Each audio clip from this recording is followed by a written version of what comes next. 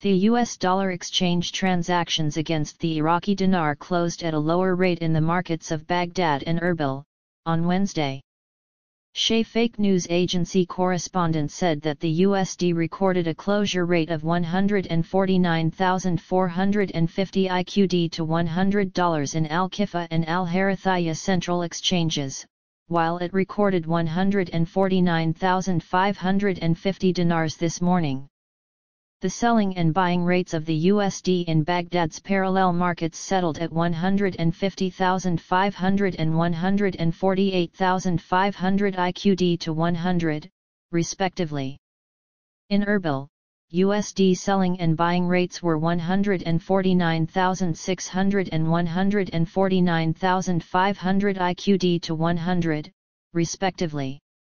The Iraqi central bank's CBI sales of the US dollar reached more than 274 million in the currency auction on Wednesday. According to the CBI's data, the bank sold today 274,637,912 in its auction. These sales were covered at a basic exchange rate of 1,310 IQD per dollar for documentary credits and international settlements for electronic cards and external transfers and at a rate of 1,305 IQD per dollar for cash transactions.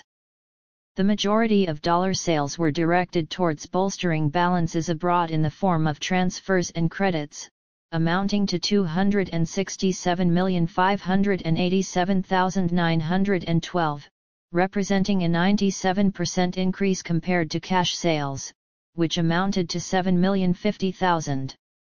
One bank purchased cash dollars, while 14 fulfilled requests to bolster balances abroad. The total number of exchange and brokerage companies participating in the auction was 10 companies.